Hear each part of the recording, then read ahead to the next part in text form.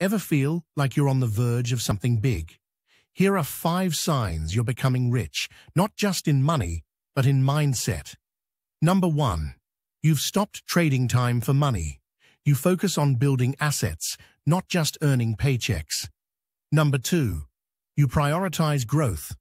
Whether it's learning new skills or building networks, you invest in yourself every day. Number three, you value simplicity. You've decluttered your life, focusing only on things that bring value and purpose. Number four, you give more. Wealth isn't just what you have, it's what you give back. The more you help, the more abundance flows. Number five, you think long-term. You're patient, building wealth step by step, knowing it's a marathon, not a sprint. These aren't just signs, they're habits. Keep going. Wealth is just around the corner.